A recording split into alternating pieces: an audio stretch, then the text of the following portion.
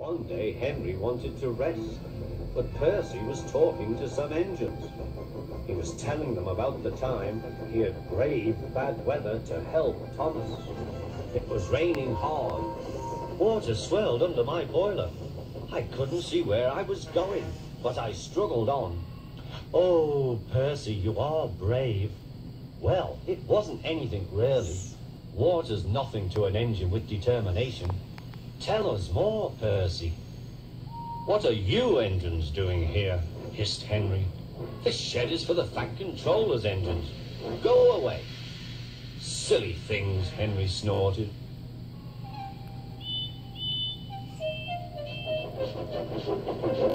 They're not silly. Percy had been enjoying himself. They are silly, and so are you.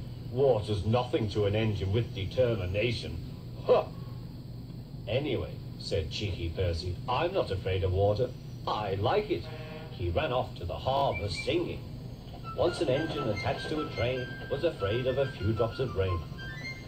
No one ever lets me forget the time I wouldn't come out of the tunnel in case the rain spoilt my paint, puffed Henry.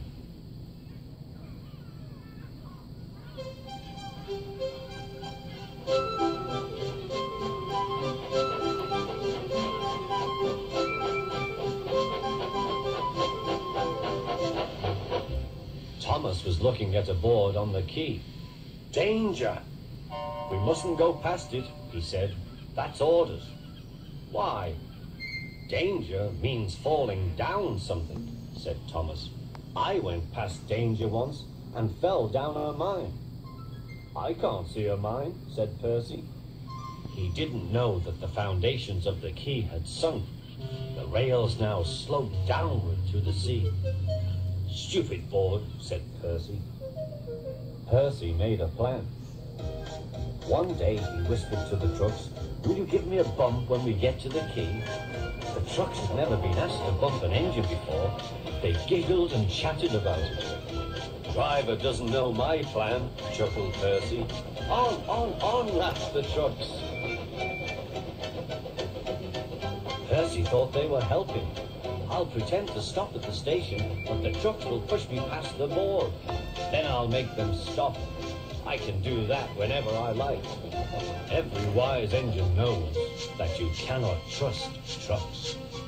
Go on, go on, they yelled, and bumped Percy's driver and fireman off the footplate. Oh, said Percy, sliding past the board. Percy was frantic. That's enough.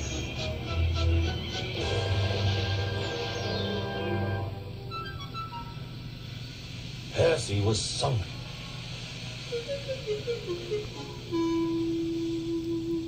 You are a very disobedient engine. Percy knew that voice. Please, sir, get me out, sir. I'm truly sorry, sir. No, Percy, we cannot do that till high tide. I hope it will teach you to obey orders. Yes, sir. It was dark when they brought floating cranes to rescue Percy. He was too cold and stiff to move by himself.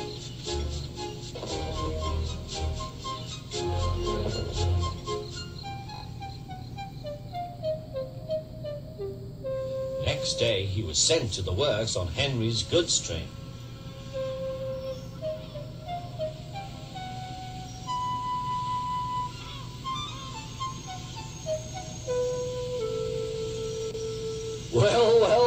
Chuckled Henry. Did you like the water? No. I am surprised. You need more determination, Percy. Water's nothing to an engine with determination, you know. Perhaps you will like it better next time.